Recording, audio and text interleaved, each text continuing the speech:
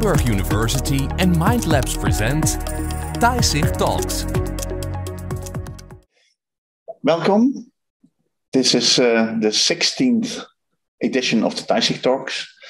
My name is Pieter Spronck. Uh, I will be uh, chairing this talk.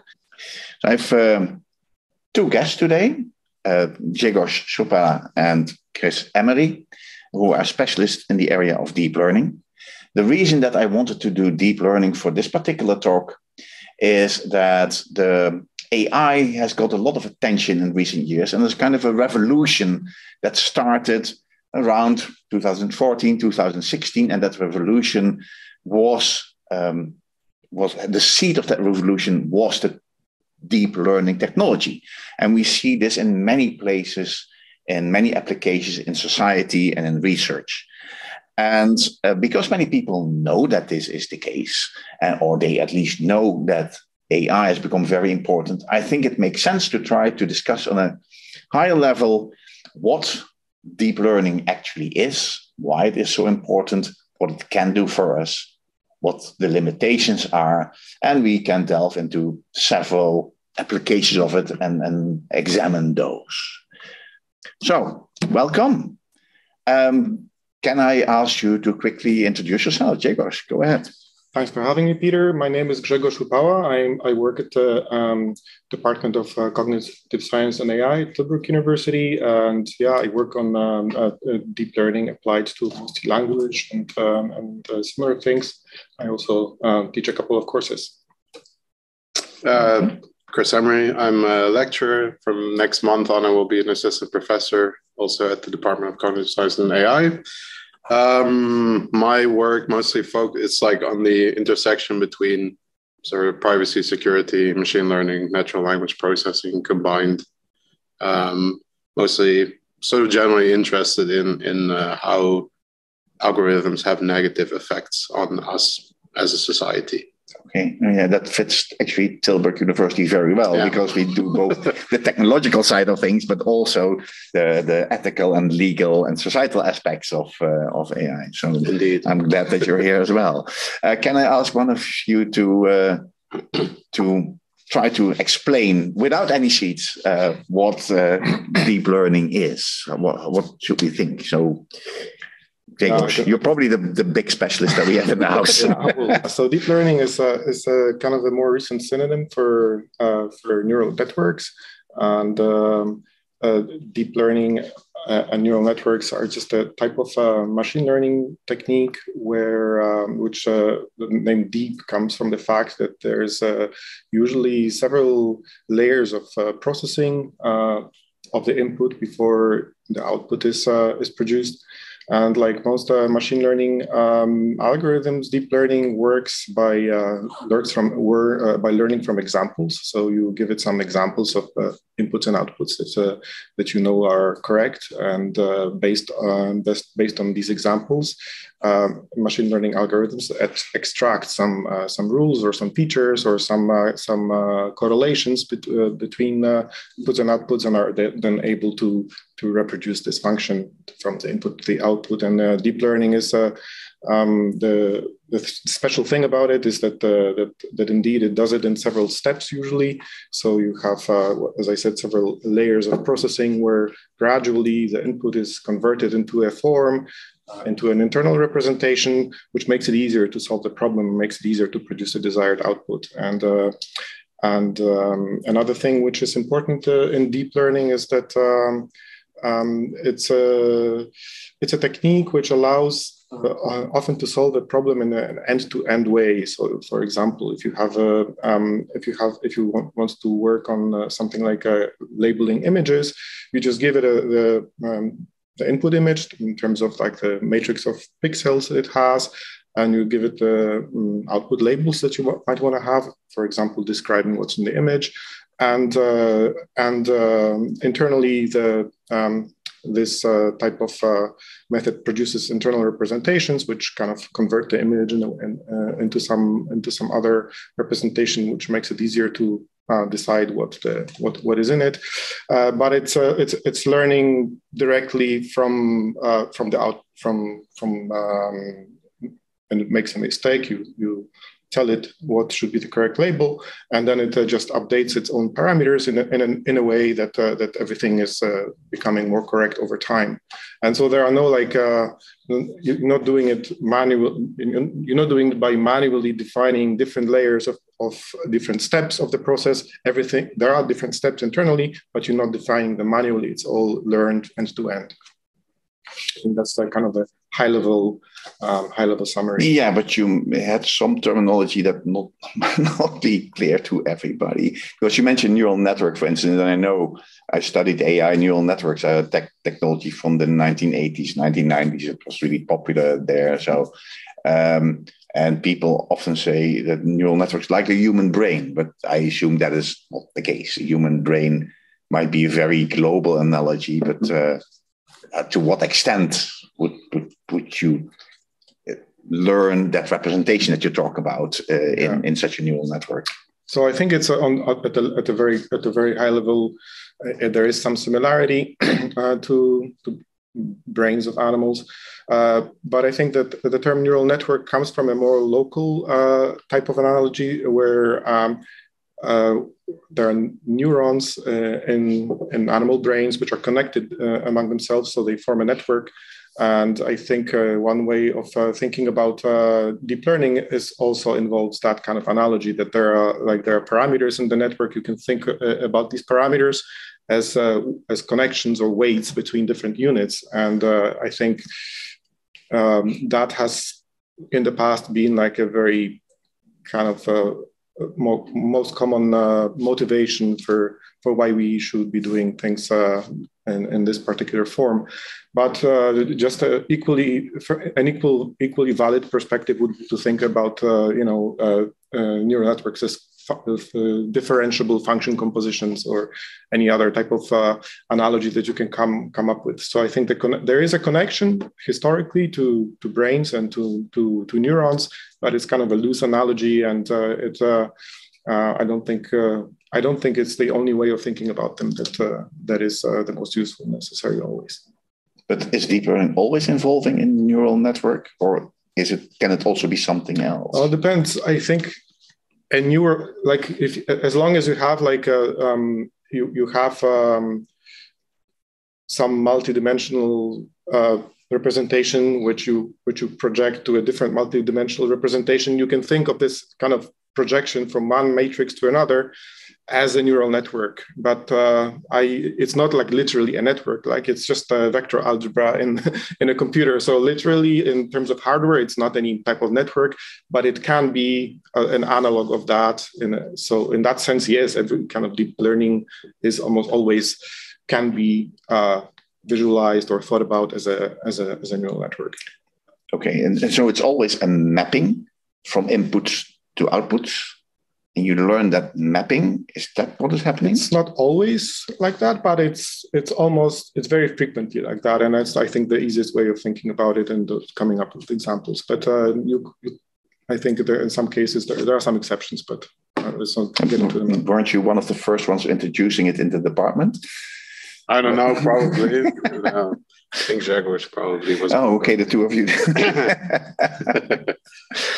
um, so, but I, as I said, as far as I know, the technology existed already for quite a while before it it became this revolution. So, why did this happen? Want me to answer? yeah. well, so that I think there's a there was there were a few things at play. So. Uh, most of these techniques were developed around, um, I guess, the 90s. That that's where all the seminal work is from.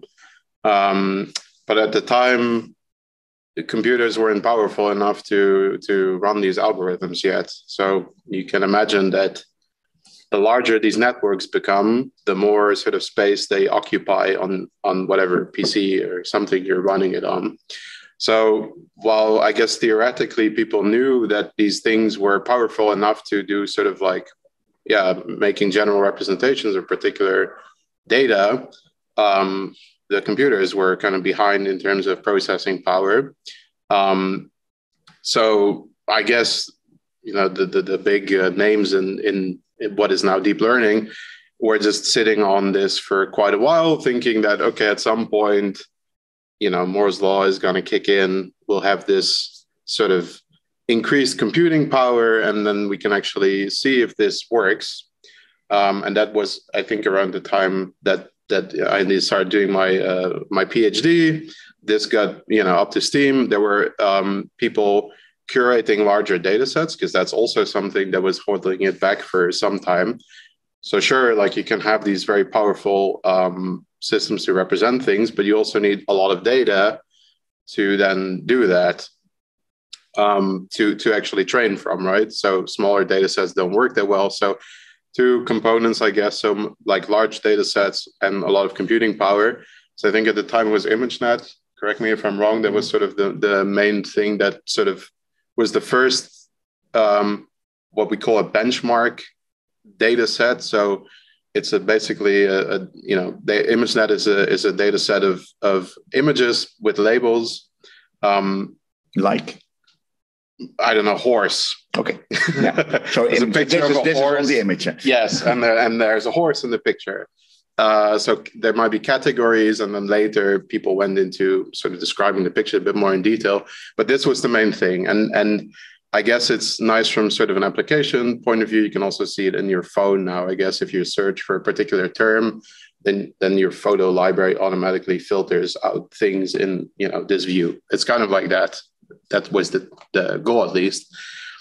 So and and you know in, in computer vision, which which is the the research field that deals with this, um, people try to there were like sort of all these little components that people would combine to then do this classification. And it wasn't really like a, a main algorithm to do it. There were like things to extract features. There was an algorithm that would then learn from these features and try to do something. And, and once this data set got more traction with people actually running neural networks and being able to do it within a time that you are still alive once it finishes, um, um, they actually got pretty good what, what we call accuracy. So it's like how good can we actually classify all these these objects and these images, and then then it was like wow, okay, this actually is now happening. That that these neural networks have now. Um, superseded the, the the manual kind of like intelligent design of these well according to the researchers at least um, and that's when things started rolling people started sort of developing uh, special, um, more sort of tailored things. You know, the, the, what we call feed forward neural network is the most uh, basic instantiation, I guess, typically at least. but people started coming up with with ways to rep because this worked for um, for simple classification, but for as Grzegorz also mentioned for images, you have different representations than, for example, for language, let's say. So people started tailoring um, specific algorithms to specific types of input or, or, or uh, domains, right? So images, text, uh, I don't know, graphs, this kind of stuff. So, and and from there on, it's it's been sort of a race of who can get sort of the main like because still these were old ideas, right, that were implemented. Um, and I think only from the last I guess five six years, people have started introducing sort of new new newer systems that that um, that actually proved more powerful than stuff that was already done in the 90s. So. Yeah, I think a lot of this initially was rediscovery of old techniques yeah. uh, due to availability of compute, like uh, uh, like uh, Chris mentioned, but also to to the availability of large data sets. And large data sets, I think, uh, to a large to a very large extent, uh, were enabled by the rise of the internet and like the, the, the, fact that people are sharing things on the internet. So you know, like the way to get like millions of images with labels, uh, you know, it's a uh, it's it's just an issue of scale. Like when people are sharing them on uh, social media, then you can collect them and uh, and use them. The same with text. The same with uh, a lot of other things. Uh, so yeah, so initially this was enabled by by these two main factors, and uh, people starting applying things like convolutional neural networks or long short short term memory networks to different problems and they started to work really well which attracted more attention from other researchers. And i think that that's this kind of a snow, snowball effect that you have more people interested in this working on this and starting coming up with uh, with new techniques and new approaches. And i think uh, nowadays like there is so many people working on this that there's definitely a, a lot of new ideas and uh, and new contributions. Not only rediscovery of techniques from the 80s and the 90s, yeah. but definitely new developments, which are we probably can't keep up with, uh, uh, you know, in general in deep learning. But in our own domain, usually, you know, it's quite visible that there are new things that uh, that also uh, make big jump, make uh, uh, account for big jumps in in the, in the performance of these yeah. systems.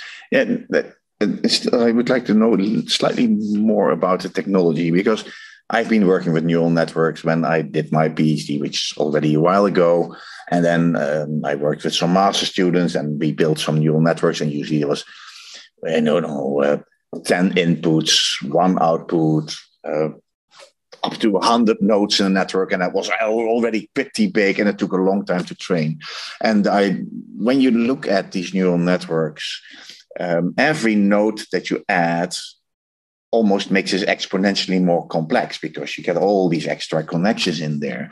And if you talk about Moore's law, law then well, it's not a law; it's an observation basically, but it, it helped. But still, that that says every year and a half or so, the computer power doubles in capacity and in uh, in speed. But I would think that that would not be enough to within 10 years go from these relatively small neural networks that I was using to these gigantic networks that are currently in deep learning. So, what I understand that that point that you make about the data sets, but that I would think that the hardware technology or the or the software technology should also have seen some changes. Yeah, I think there's uh, issues with you know hardware definitely. Also, like uh, being able to distribute it over over many nodes, so called, right? So over many machines and many. Uh, uh, processors on the same machine also in terms of like how you design the network. You if you add you don't want to just add a node and connect it to everything. You typically you know you have module, little modules which are connected uh, internally but are only connected partially with uh, with the rest of the network. So that uh, that uh, um, that allows and you also design it and uh, design them in a way that you can do stuff in a modular way so you can distribute things more easily. So one example is a, is a kind of a recent development called the transformer. Well, not so recent anymore, I guess, but anyway, not from the 90s, right? Uh, as a transformer, which I like the, the main idea behind is that, that uh, is that um, or one of the main contributions that it, that it made was it enabled the scaling of, of these networks because it's very easy to parallelize things. A lot of computations can be done in parallel on multiple machines, and then that that makes it uh, possible to to you know train a, a, network if you have a thousand machines with I don't know a billion parameters or something like that. So uh, there is a combination of different things. More you know uh, these uh, uh, big. Uh, um, a lot of companies now have like access to to a lot of computation because they uh, they make business that way. Uh, we have techniques to parallelize things, and we have uh, smart, you know, design to of these networks to, to make them possible to run at scale. Okay. And yeah, you already mentioned, for instance, image classification, so uh, describing what we see in an image. And um, I, when that came up, I thought it was surprising. And when I look back on it nowadays, I think, well, that's actually pretty simple. But uh, many more things that have been made possible now. Can, can you give a couple more yeah, examples of things that we couldn't do 10 years it's ago? It's always like that. Right? Once, you, once the machine starts being able to do it, you know, it's actually simple. but it's not simple. It's not at all simple. It's very complicated. And that's why it took, you know, since the we had some first computers in the in, in the 50s until now that it can actually be done you know so these things are not at all simple they're like extremely difficult but we are also not simple right like mammals we recognize things in images effortlessly. It's it's it's you know it's something that we are uh, born to do.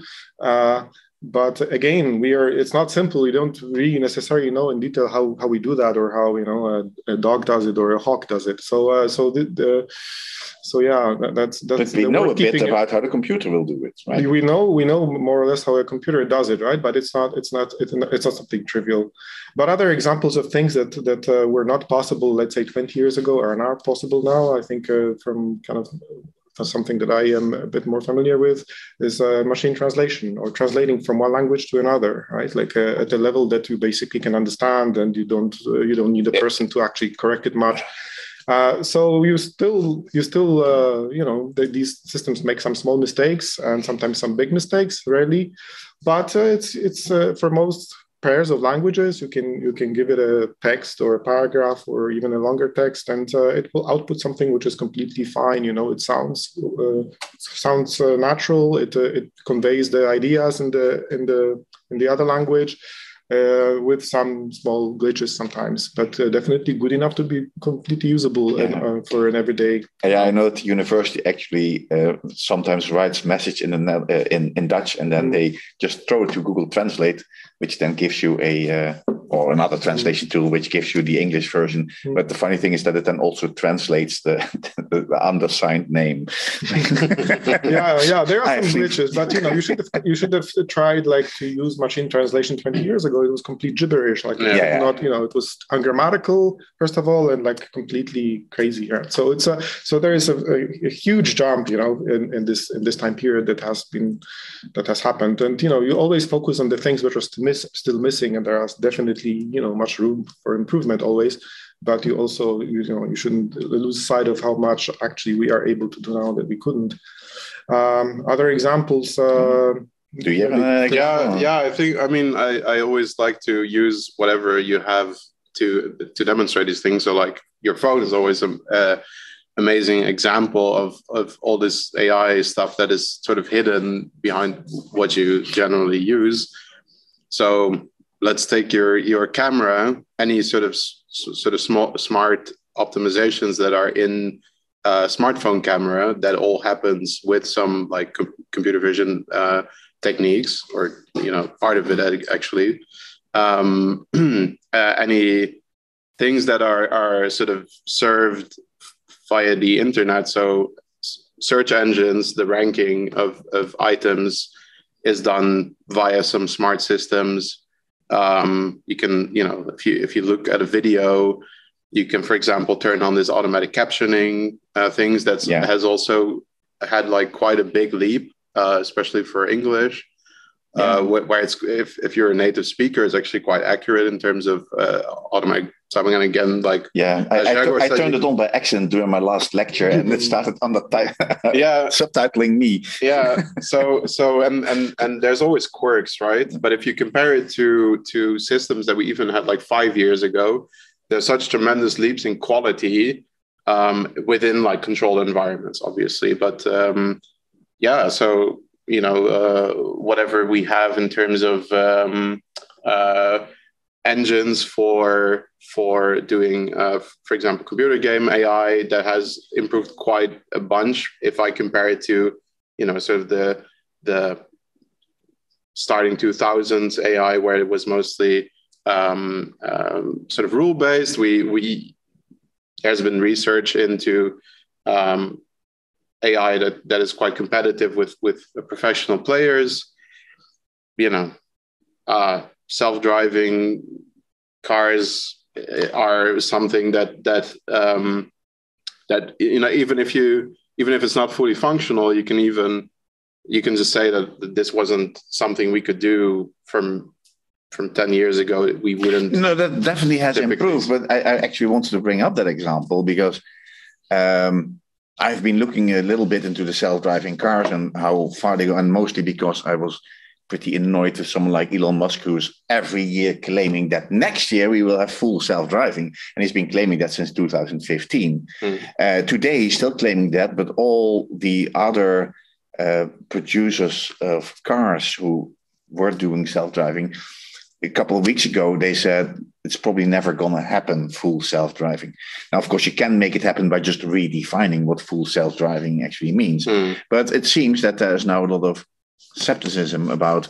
whether or not something like full self-driving is actually possible um, now you might not be a specialist in this but I, I would think there are certain applications that are out of reach of something like deep learning. So, are there things like that? Are there things that we can imagine? So, that's probably not going to happen.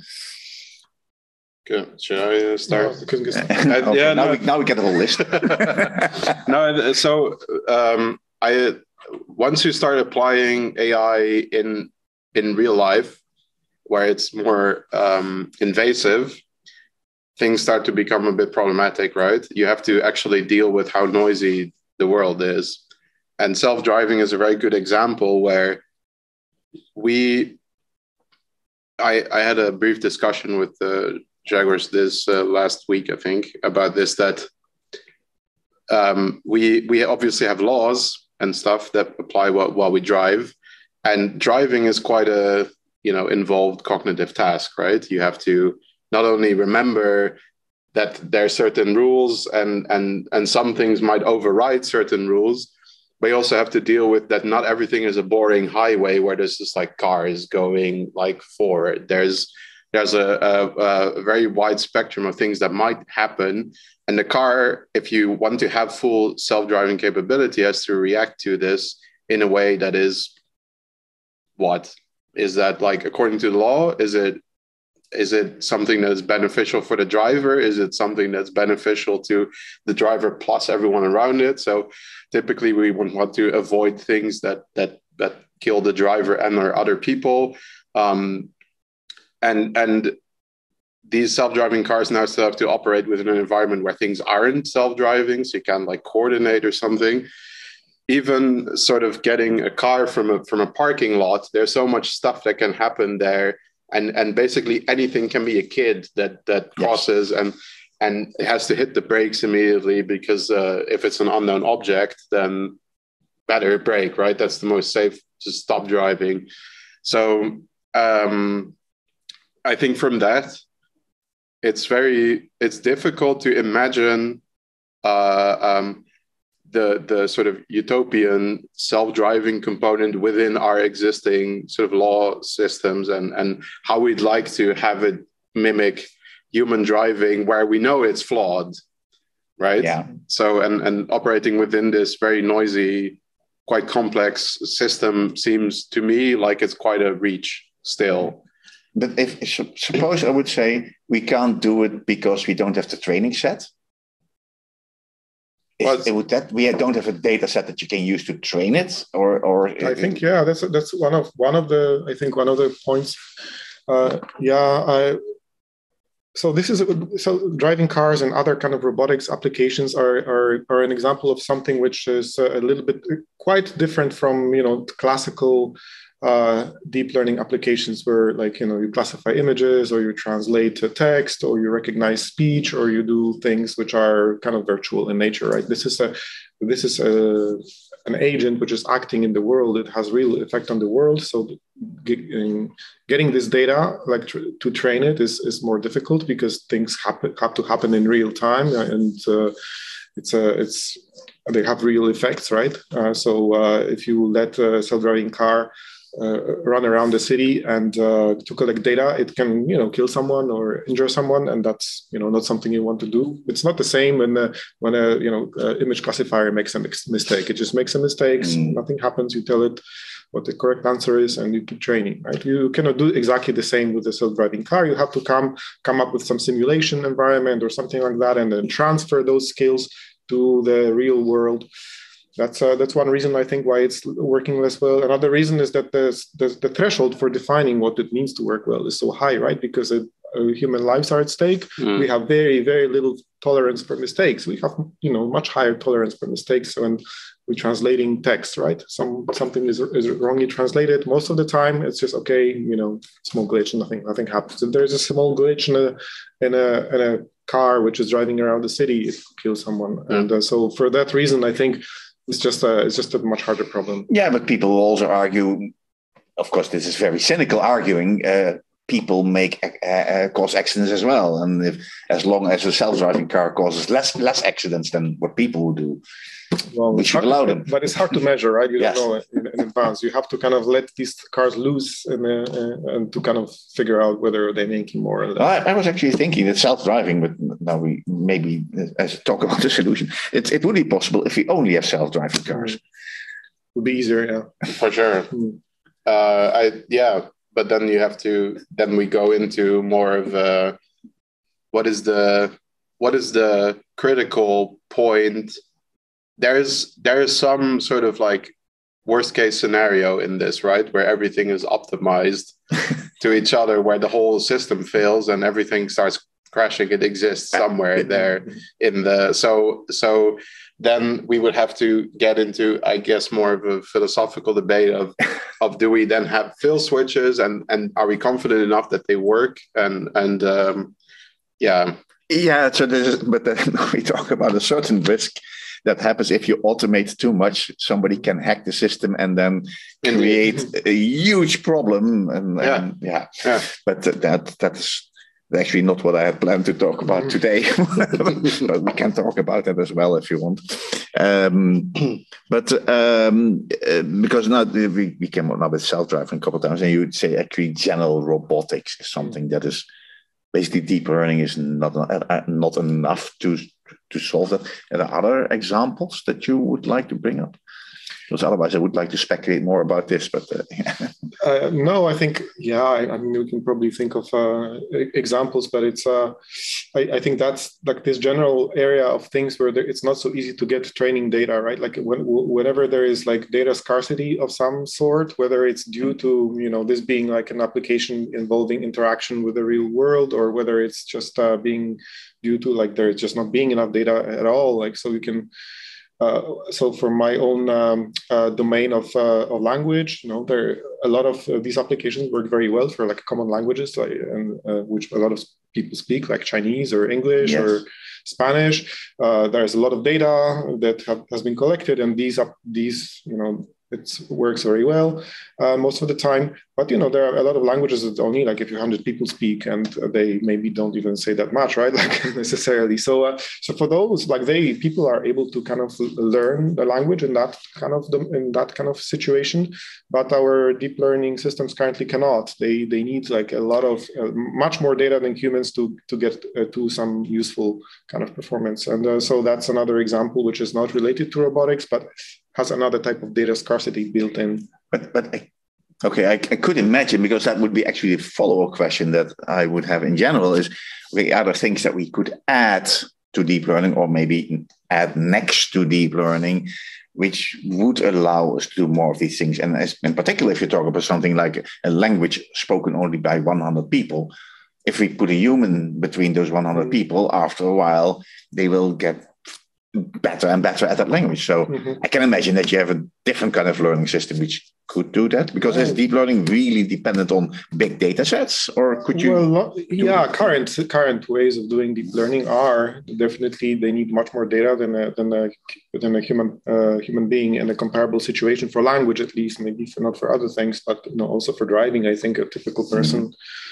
in their you know 20s can learn to drive with like you know as, as little as 20 hours of practice right like um, that's probably just a very small fraction of what a of what a of type of data that the, that the you know uh, AI system would need. So, so definitely, like uh, you know, hum- as as humans uh, or many other animals are similar, we have had like millions of years of evolution, which has kind of built in already certain um, abilities, uh, you know, into our nervous system, and uh, so that is not something that uh, that we that is not how uh, deep learning works, right? It's kind of mm-hmm. like a very generic. You define some generic architecture, but other than that, is basically you're basically starting from scratch. It's a blank slate. So there's mm-hmm. a lot of you need a lot of uh, uh training data in order for these systems to reach you know, some level of, of performance that. Uh, um, so, like you asking, what could we add? Well, of course, we can add more what are called learning priors, right? So, some kind of hard coded or preferences for certain things that would make it easier for them to learn a language, for example, right? Because if the if the um, structure or the innate preferences of um, of the deep learning system were more similar to how uh, the human brain is, then they would also find it easier to, to learn from smaller amounts of data. But uh, mm. the, the, mm-hmm. thing is that it has it's an idea which, which has been around for a long time, but it hasn't really been easy to implement because you know uh, we cannot reproduce evolution easily um, because uh, it takes you know it's computationally extremely expensive to do that. Uh, and uh, so we have some other workarounds, but um, nothing, nothing so far has really uh, from from this idea has really uh, kind of made a big big difference.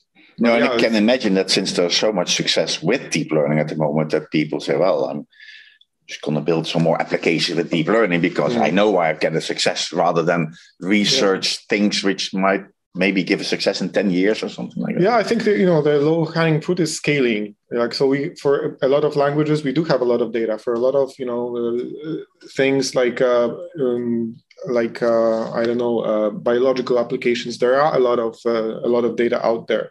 And so we just have to uh, or you know people who are doing that they, the, they're just doing the things that already are possible with with current technology just uh, just you know scaling it up to these big data sets because uh, because they can achieve very good results and very practical and useful things without uh, you know having to hard like having to think very hard about uh, about new ideas and how to implement, how to how to make them work that's that's very difficult right it's not it doesn't it doesn't come doesn't happen every year that someone comes with a brilliant new idea that you know revolutionizes some some field yeah. So just to add, I think if we had a good idea about what to add, then we would not share it here, right? wouldn't be sitting here.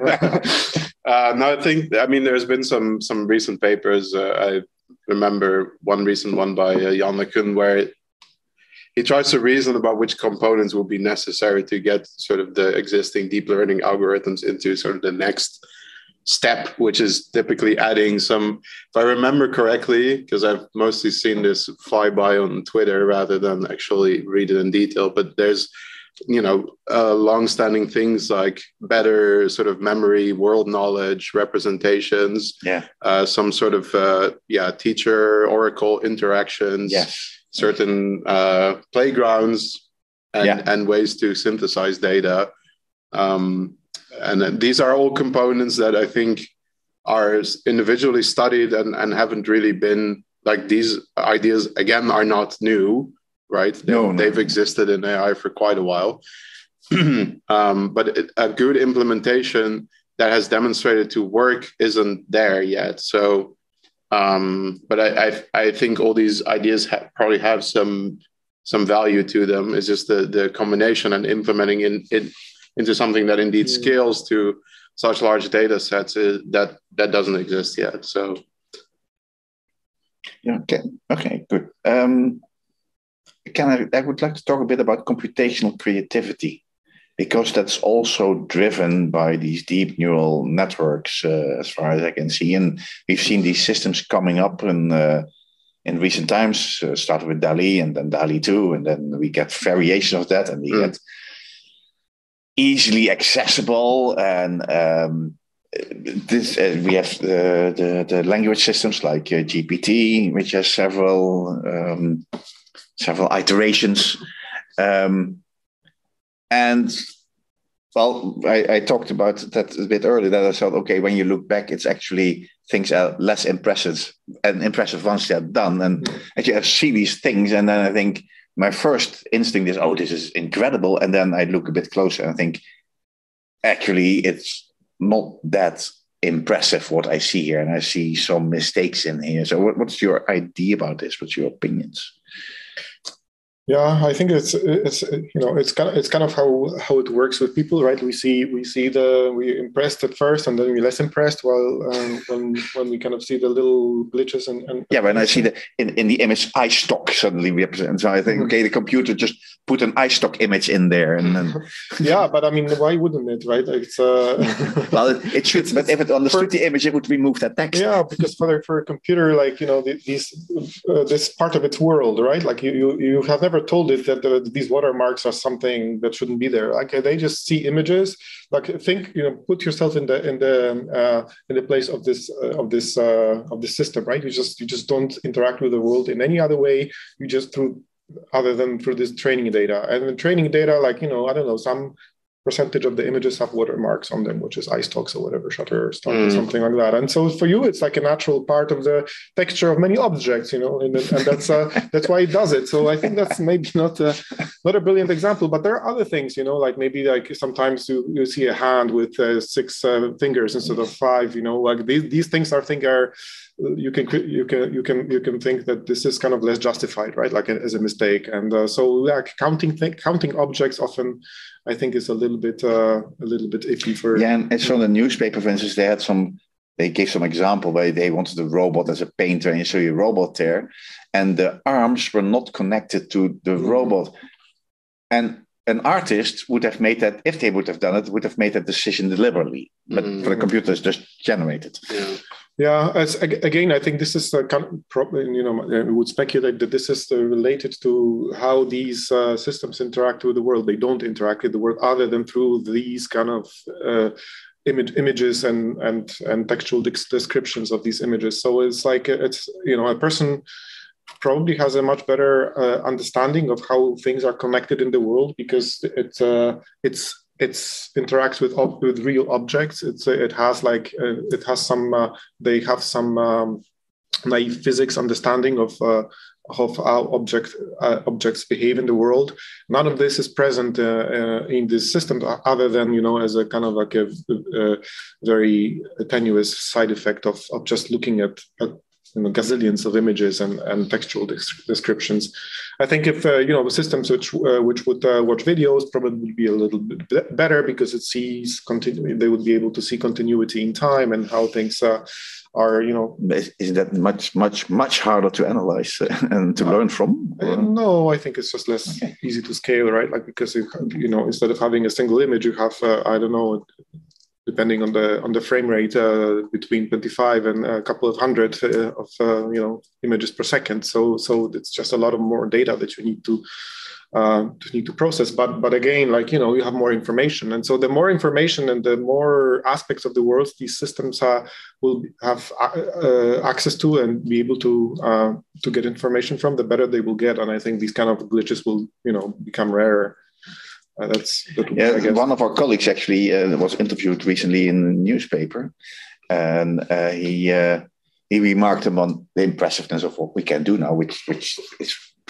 purely validated. And he said, well, maybe in ten years we can generate movies this way. And I was thinking, I don't see that happening, generating movies, because uh, first of all, uh, you cannot just let's say learn a general structure from observing a bunch of movies. You cannot generate a new movie movie on that basis.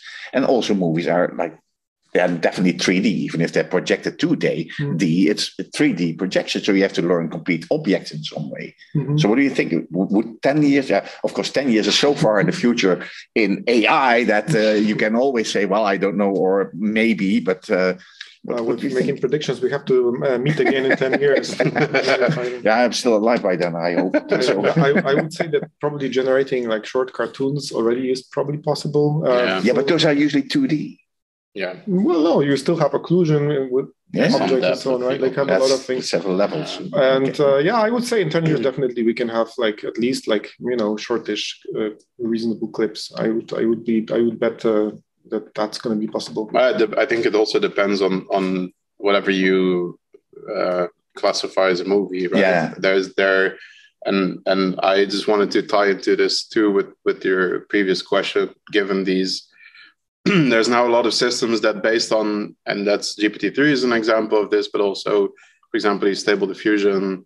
Um, generations that these are all sort of prompt driven, right? So there's a yeah. little text that people enter as a sort of a starting point, and then either it comes out like a picture or more text.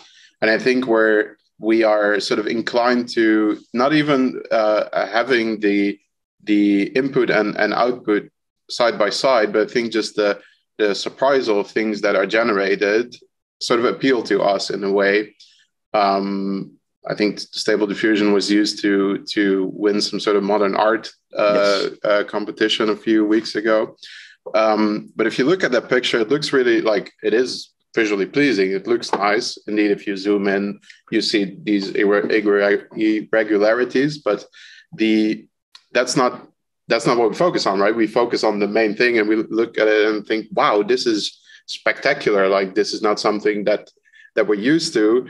there's a lot of obviously a lot of copying involved with these these algorithms but you can also argue that there's also a lot of like new things we as humans uh, being artists also are inspired by certain genres styles techniques etc so that also you know takes some time to deviate from from these things and come up with something completely novel whereas these things are basically some sort of uh, you know eight ball with give me some um, or some randomizer would give me something in this style and now it's like very interesting to look at, but but it is a bit boring in a sense from that that it mostly comes up with with yeah sort of abstract interesting things that only have some sort of quality because either you're impressed by the algorithm or you're impressed by the fact that it's so not un, not like anything a human would produce right?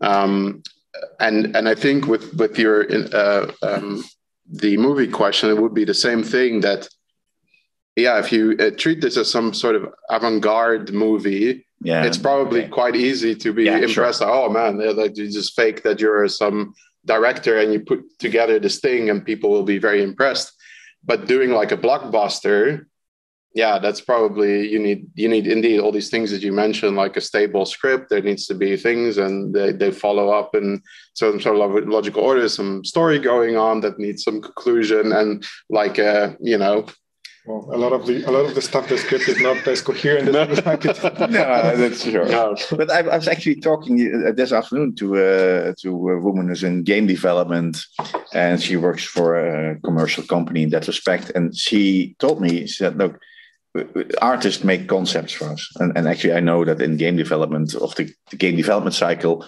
seventy percent of the money goes into art, mm. uh, and only something like fifteen percent into programming." And she said, well, the artists, so we asked them to make concepts and they now use these kind of tools.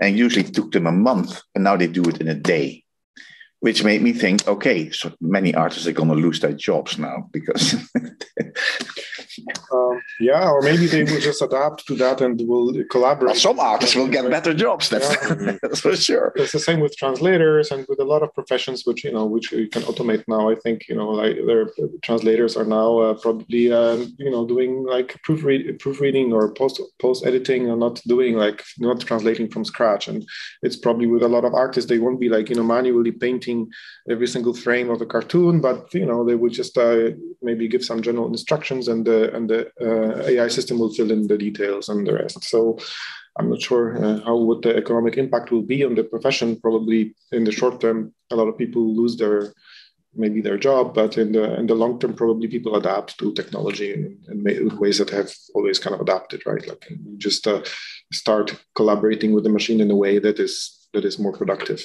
Yeah, we still have a, a lack of uh, people in, in, in, for jobs. We, we still have lots of vacancies, so probably it's not not bad if we lose a, a couple of things that we don't need to do anymore. Um, so when when I talked to you uh, beforehand, uh, and I mentioned a couple of applications, you came up with something that I hadn't heard of at the time, but immediately after that, I started seeing, uh, and that was AlphaFold. Um, and actually, um, something like in 2005 2006 i think there was an application called Foldit where humans collaborate with computers to create uh, protein foldings which uh, could be very useful. And what they found is that humans actually did it better than computers but you could teach computers the same techniques that humans used and the computers became better as well. And then you mentioned AlphaFold and and I was I was quite impressed when I heard that. So can can you because if people don't know about it, I think it's worthwhile yeah, mentioning this. Yeah, I think it's a very interesting thing because uh, the other examples that we've been talking about so far is. But maybe also talk a bit about the applications. I will, there. I will yeah, yeah sure. That uh, that uh, are things that people actually kind of can do, like recognize images or translate, or uh, but this is something that people maybe are not so good at. Like you know, the, the, the, so the idea is to uh, from the uh, sequence of amino acids in a protein determine its uh, three-dimensional structure. So proteins consist of amino acids. Amino acids are just these little building blocks. There are about 20 of them or so. And they are like basically chained together you know from uh, from tens to hundreds to thousands of, uh, of, of amino acids in a protein and then uh, just the physics and chemistry of uh, of uh, of these amino acids makes the protein fold into a three dimensional shape. And the three dimensional shape of a protein is very very important because it determines its function. So if you have an enzyme or or a, or a drug or or anything that uh, is functional that's basically determined by its uh, three-dimensional structure, like what you know how it's uh, what is the exact shape, does it fit in this particular uh, other protein, uh, and and so on. So this is like an extremely important uh, thing in, in, in biology, in medicine, and, and so on, and, and other similar applications. And uh, and it's a very difficult problem. The you know there is like exponentially many you know theoretically ways that the protein can can fold itself, uh, but only one. In, in reality, in reality, only typically a very small number of those are like stable, and and uh, only one is typically the one that, that ends up uh, that ends up being the the real three dimensional shape of a protein. And so, um, so as you mentioned, the, the, there's been a lot of work on this pro, uh, on this problem for for many years, and like the relatively slow progress. Uh, but um, um, in 2018, there have been actually a big jump. Uh, so there was this competition where uh, where scientists would come up with uh, with, with algorithms which predict the three dimensional shape from the from the sequence of amino acids in the protein, and they were like every two years they would have a benchmark. They would try to you know make have a competition and see how how well they, their systems are doing. And uh, in 2018 um, there was a big uh, there was one entry which scored uh, much higher than the others. And two years later they uh, they got like uh, to uh, to a score of 90% you know out of 100 which is very close to you know to to kind of perfect. And uh, so this system it was called AlphaFold and AlphaFold 2 and it was developed by people from DeepMind which is a subsidiary of Google. And and so now in you know this this is at the level that that this like by by basically a factor of or two, of two better than what we were able to do before. Like I think before that uh, breakthrough, uh, the scores were somewhere in the 40s, so about 40. Now the score is you know 90 or a bit higher, and so so this makes the the this makes it like very usable and very uh, in, in, practical applications that I mentioned before in, in biomedicine. And uh, uh, as far as I uh, as far as I know, the, this uh, program has been applied to a to a lot of uh, protein sequences, and their three dimensional structure has been predicted, and this database have been made.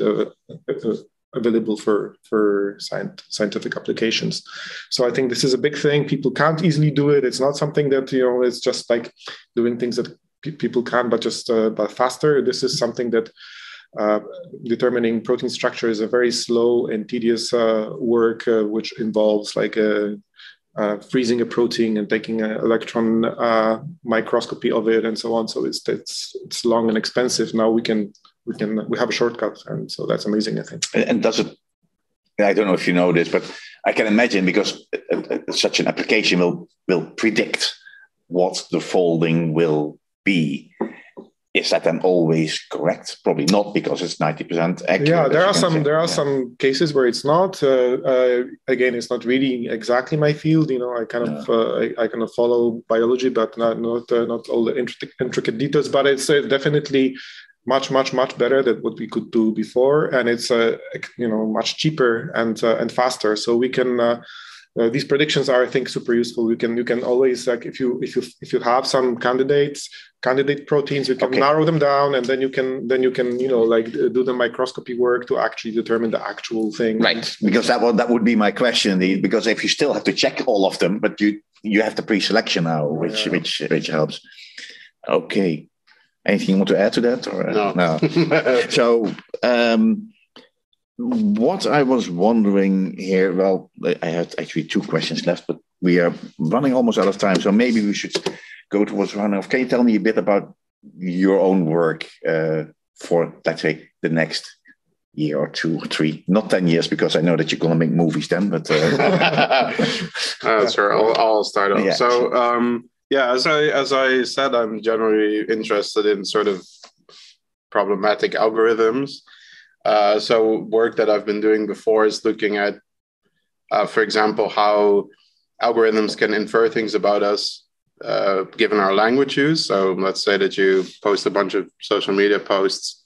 Based on the, this, it might be able to predict certain things that might be used for sort of good applications, right? So, um, you know, if we want to know some demographic information about you, then like age and and sort of education level might be relevant as as sort of an easy way to um, to collect data, but obviously there's ways that that this can be used in more malicious ways. Uh, some direct examples always if you if you let things like let's and I'm not saying that these are necessarily accurate or good algorithms, but there is definitely work that tries to, for good causes, try to predict if if you suffer some sort of um, you know mental disorder or you know depression. Um, these things are are relevant to study for for certain areas of research. Um, that can be done based on your language use. You might not want to reveal those kind of things. Mm-hmm. So providing some sort of insight into this and ways to not share that information is relevant. So that's things that I'm trying to or have been trying to study based on sort of changing your language use. But I think it's a much more broader thing where um, this is a very direct example of how like an algorithm might be employed for not so nice things, but a lot of things are also hidden. So, you know, the, the internet is mostly driven by how we're shown particular content, so ads or or some ranking of their uh, of of you know even social media posts, and this in like creeps in very uh, sort of you know things that that that don't necessarily you know I wouldn't want to use the word manipulate, but it certainly exposes yeah. us to a very limited set of things, and we're not really sure how, what drives that and and who sort of what and i'm sure that some of the companies that provide these things also don't know uh, but it's very it's very understudied sort of how um, how these things affect us if if there is some sort of you know bias in in these very large systems um, so that will be what I will be studying in the next few years, or at least starting this because it's a very large endeavor. Uh, very socially relevant. yeah. So this is uh, the TLDR, I guess. Right. yeah. So uh, for for me, uh, my main focus of, uh, of research is uh, is on on language, especially spoken language. so we mentioned that there, has been a lot of progress on many language related applications, such as translation or recognition of of speech.